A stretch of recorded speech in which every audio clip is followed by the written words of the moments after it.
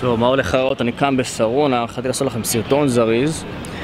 סרטון שכבר נמצא לי בראש אה, כבר אה, משהו כמו כמה חודשים וזה בא מבחור שהיה אצלי בסמינר, גם מגנש ההצלחה, הוא עשה את הסמינר לפני כחצי שנה אז אה, אני שולח לו הודעה כביכול על הסרטון הזה אחרי חצי שנה אבל אני מאמין שהסרטון הזה יעזור לך במיוחד אם אתה כרגע נמצא בימים האחרונים, בשבועות האחרונים בתקופה שהיא לא פשוטה, אולי אתה כרגע עובד על משהו וזה דורש ממך הרבה זמן והקרבה ופעולות, אולי אתה כרגע יודע שאתה צריך לעבוד על משהו אבל אתה לא כרגע מרגיש אה,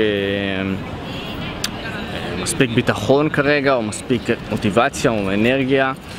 ואותו בחור גם אמר לי שהוא בימים האחרונים הוא פשוט הולך לישון, מבטיח לעצמו שהוא קם בבוקר ועושה את מה שהוא אמר שהוא יעשה והוא פשוט מאוכזב מעצמו שהוא לא מספיק חזק על עצמו, שהוא לא מספיק שולט בעצמו, שהוא לא מספיק אה, חזק כדי להתמודד עם הרגשות שלו והוא נכנע לסיפוקים מיידיים. במקרה הספציפי שלו הוא נכנע ל... פשוט לשינה ולמרוח את הזמן אה, ופשוט להישאב להסחות דעת שבסופו של דבר, בסוף היום, הוא אמור להרגיש הרבה מאוד אכזבה עם עצמו וזה דבר שאני שומע אצל הרבה משתתפים שמגיעים לסמינרים שלי אה, וגם לא מזמן אה, שניים מהלקוחות שלי סיפרו לי שהיה להם משהו דומה, קטן, לא ברמה שהוא מציין. ובסופו של דבר אני רוצה לתת לך שלוש, שלוש סיבות שממש ברגע אחד, ממש בסוף הסרטון הזה, יפתחו לך משהו. ואני עושה את הסרטון הזה כרגע ואני מציע לך לעשות, לקחת את הסרטון הזה, בעצם לקחת אותי, את הקול שלי כרגע, למקום רגע רחוק. זאת אומרת, צא מהבית,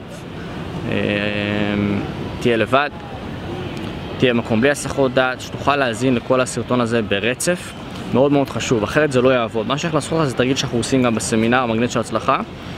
אה, בערך אני מעביר לך את זה עכשיו, לא יכול להעביר לך את כל מה שאנחנו עושים שם, אבל בשביל שהתרגיל הזה יהיה לו אפקט, אתה צריך לעשות אותו במקום שהוא לא, ללא הסחות דעת ברצף, ואני ממש מתכוון לזה. אל תאזין לסרטון הזה סתם ככה, או שיהיו לך הפרעות, כי זה לא יעבוד לך. ו...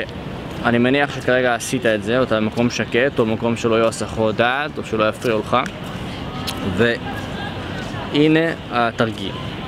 תחשוב רגע על הדבר הזה, תחשוב רגע על הצורה שבה אתה כרגע מרגיש כלפי עצמך, או על הצורה שבה אתה כרגע מרגיש, או על, ה... או על החוויה שיש לך כרגע. משהו שם כרגע לא עובד לך, משהו כרגע מונע ממך, בין אם אתה יודע מה זה או לא יודע מה זה.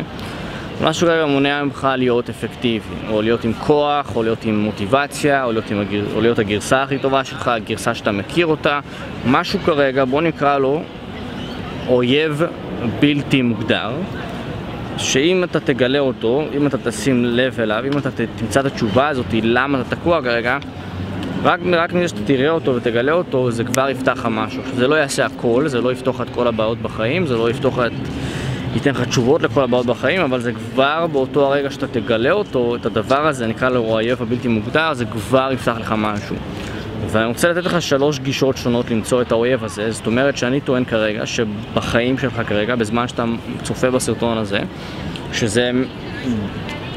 אני מקווה שלא תצפה בסרטון הזה כעוד סרטון ביוטיוב, אלא ממש תשתמש בזה ככלי נשק, כתרגיל שאתה יכול להשתמש בו אפילו בעוד שבוע, בעוד חצי שנה, בעוד שנה, בעוד שנתיים. והתרגיל הזה בעצם יעזור לך לגלות כרגע מה תוקע אותך, ורק ברגע שאתה תגלה אותו אפילו, רק בשנייה שתגלה את ה... כביכול את הבעיה, את האויב הזה, אתה כבר תקבל יותר כוח. בלי לעשות כלום, רק מלגלות אותו. והדרך הראשונה היא להבין שכרגע יש משהו שאתה מסתיר מעצמך. כן? זאת אומרת שיש משהו כרגע שאתה מסתיר מעצמך, שאתה לא יודע שאתה מסתיר מעצמך, שאם תדע שאתה מסתיר אותו מעצמך זה כבר ייתן לך כוח. שוב, יש משהו כרגע שאתה מסתיר מעצמך, שאתה לא יודע שאתה מסתיר אותו, שאם אתה יודע שאתה מסתיר אותו, זה כבר יפתח לך דלת חדשה, כוח, אנרגיה ומוטיבציה. דרך אגב, זה המשפט הראשון שאני פותח איתו את הסמינר מגנט של הצלחה. יש משהו שאתה מסתיר מעצמך, שאתה לא יודע שאתה מסתיר מעצמך. עכשיו, מה זה אומר? זאת אומרת שיש משהו כרגע בחיים שלך, שאתה לא יודע שאתה מסתיר אותו מעצמך, שאם אתה תדע שאתה מסתיר אותו, אתה תקבל כוח לעשות את מה שאתה לא עושה כרגע, ובכלל אתה תקבל יותר כוח לחיים שלך. עכשיו, הדרך לגלות מה אתה מסתיר מעצמך היא מאוד מורכבת. כן, אני מצטער, אני לא אשקר לך, אבל היא מורכבת לגלות מה אתה מסתיר מעצמך, כי אם היית יודע מה אתה מסתיר מעצמך, לא היית מסתיר את זה מעצמך והיית עושה עם זה משהו. עכשיו, מגנט של הצלחה זה בדיוק מה שאנשים קולטים, קולטים מה הם מסתירים מעצמם. אני רוצה לתת לך דרך פשוטה עכשיו שאתה יכול לעשות את זה בעצמך. והדרך הזאת היא להגיע לדרך השנייה. והדרך השנייה היא, שוב, הדרך הראשונה היא יש משהו שאתה מסתיר מעצמך, ואתה לא יודע שאתה מסתיר מעצמך. הדרך, הדבר השני, הדרך השנייה היא, יש משהו כרגע שאתה נמנע לעשות אותו. עכשיו אני אשאל את השאלה כמה פעמים כדי שתקבל משהו לראש שלך. מה כרגע אתה נמנע אולי לעשות, שאם אתה תעשה אותו, אתה עלול להיכשל, עלול להתאכזב, או עלול להיפגע. מה כרגע אתה נמנע לעשות? תחשוב רגע על כל החיים שלך, אולי על הפרויקט המסוים שיש לך כרגע שאתה עובד עליו, אולי על היצירת אומנות שאתה עושה, אולי על אזור בחיים שלך שלא קיבלת ממנו החלטה, אולי קשור לדירה של ההורים שלך, או לדירה שלך, או לכסף, אולי קשור לבת זוג שלך, או לחברה שלך, או לידידה שלך, או לאקסט שלך, או ללימודים שלך, או לתואר שאתה לומד בפסיכומטריה, בפסיכומטריה, אולי לצבא כרגע, אולי לתפקיד שאתה עושה בעבודה שלך כרגע, אולי למבחן שלך בקרוב בבית ספר, אולי לבגרות שעומד להגיע בבית ספר.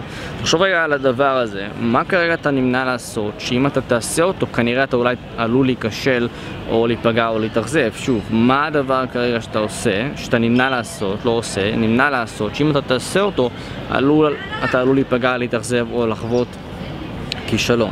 עכשיו, אם באמת אתה איתי עכשיו, ואתה לא סתם מאזין לסרטון הזה, משהו יקרה לך, אוקיי? זה תרגיל שהוא מוכח, עשיתי כבר לאלפי כוחות שלי, זה תרגיל מוכח שאם אתה תעשה אותו, פתאום יקפוץ לך שיש משהו כרגע שאתה באמת נמנע לעשות אותו. שאתה אפילו לא שם לב שאתה נמנע, ובגלל שאתה נמנע לעשות אותו, אתה עושה דברים אחרים, שים לב, אתה עושה דברים אחרים שהם דורשים לא הרבה השקעה וגם הם לא נותנים לך המון אבל מה שהם כן נותנים לך זה סיפוק מיידי ואישור מיידי זאת אומרת שאחד מהלקוחות שלי היה לו הזדמנות לקבל לקוח שלו, הוא יועץ שיווק היה לו הזדמנות לקבל לקוח שהלקוח האחד הזה, שאם הוא היה מקבל אותו, היה שווה כמו חמש לקוחות אחרים שלו. עכשיו הלקוח הזה במקום לעבוד על הלקוח הספציפי הגדול הזה, בוא נקרא לו כריש גדול, לתפוס כריש גדול, הוא הלך והתעסק בדגיגונים הקטנים שלו, שמהם הוא מקבל 100 שקל, או 500 שקל, או 200 שקל, הוא מקבל מהם, אבל הוא מקבל את ה-100-200 שקל האלה עכשיו. במקום להתמקד בכריש הגדול, שזה דורש ממנו יותר השקעה, יותר זמן, סבלנות, טווח הרחוק, הוא הלך והתמקד בגיגונים הקטנים. עכשיו זה גם טיפ לכל בעל עסק מתחיל, או עצמאי, או יזם, או סטארט-אפיסט, או אחד שצופה בסרטון הזה שאתה רוצה אי פעם להצליח כספית. ככל שאתה תרצה לעשות יותר כסף, ככל שאתה תרצה להרוויח יותר עסקאות גדולות, ככה אתה תצטרך בסופו של דבר לחכות יותר. כי אם אתה רוצה עכשיו לעשות 50 שקל ביום, זה לא בעיה. Okay, אוקיי? אתה, אתה יכול ללכת למצוא עכשיו מקום, תוך יום אחד אתה מוצא 50 שקל, לא בעיה להרוויח 50 שקל. אבל אם אתה רוצה להרוויח 50 אלף שקל, מה שקורה, הזמן מתארך. זאת אומרת שאתה יכול להיות במשך 60 יום בלי כסף, אבל פתאום ביום אחד עם 50 אלף שקל. ומה שזה דורש, זה דורש התגברות מנטלית ורגשית על זה שאתה לא עושה 60, ביום, במשך 60, 60 יום כסף. ו... אה, וכל ה-60 יום האלו להיות עם הפחד להיכשל, הפחד להתאכזב והפחד להיפגע, שאולי ה-50 אלף שקל האלה לא יגיעו. זאת אומרת, אני אחזור לתחילת הדרך השנייה שאמרתי, הדרך השנייה אומרת שיש כרגע משהו שאתה נמנע לעשות, שאם אתה תעשה אותו, אתה יכול להיפגע, לחוות כאב, לחוות כישלון. ובמקום לעשות את המשהו הזה, אתה כנראה מוצא את עצמך בימים האחרונים או בשעות האחרונות, פשוט עושה דברים שגורמים לך להרגיש טוב עכשיו, שגורמים לך לקבל סיפוק מיידי, שגורמים לך לא להתאכזב, שגורמים לך לקבל אישורים שדברים אחרים כן עובדים לך, ואתה מקריב בו זמנית הדבר הגדול, שאם אתה תעשה אותו, יש לו פוטנציאל מאוד גבוה, וזה גם מה שאתה באמת באמת רוצה, אבל אתה לא עושה אותו כי אולי אתה תיפגע, תיכשל ותחווה פגיעה ואכזבה. הדרך השלישית להבין מה קורה איתך כרגע ולמה אתה לא אפקטיבי ממש עכשיו או בימים האחרונים, או בשבועות האחרונים, אפילו בחודשים האחרונים, חלק מהאנשים גם אפילו בשנים האחרונות, היא שכרגע יש מפלצת שאתה לא מתמודד איתה. מה זה אומר? זאת אומרת שכרגע, ומי שבאמת עכשיו בזמן הסרטון הזה, בחוויה הזאת, ממש יוכל להרגיש את זה, אולי אתה תוכל להרגיש את זה עכשיו, תדמיין שעכשיו יש מפלצת מאחוריי, כן? ואני מת מפחד להסתכל עליה. זה אומר שיש אנשים שכרגע בחיים שלהם יש מפלצת. והמפלצת הזאת היא, היא דבר כל כך מפחיד, שאני כל כך פוחד מלדבר עליו, מלהגיד אותו, מלהסתכל עליו, מלהודות בו, מלקחת מחברת ולהתחיל לרשום עליו מה אני עושה לגביו, או את המכשיר ולהתחיל לרשום עליו מה אני עושה לגביו. ו... או לדבר עם היועץ שלי, או עם המנטור שלי, או עם, או עם מישהו, מישהו שעוזר לי. אני כל כך מפחד להסתכל על המפלצת, שוב, אני עושה את התנועה עם הגוף שלי בכוונה ככה, כאילו יש משהו מאחוריי, שאני אפילו לא רוצה להסתכל, שאם אני אסתכל עליו, זה יגרום לי, או עלול לגרום לי, לחוות פחד מטורף. ואחת הדוגמאות הכי אה, אה, שעולות לי לראש עכשיו כשאני מדבר, זה הפעם הראשונה שהייתי בחובות. זו הפעם הראשונה הזאתי, אני אני זוכר את עצמי מת מפחד לפתוח את החשבון בבנק ולהסתכל מה, מה לעזאזל קורה שם. ופשוט היה לי שבועות שפשוט נמנעתי מלהסתכל על המפלצת. עכשיו מה שקרה, היה בזמנו יועץ שעזר לי,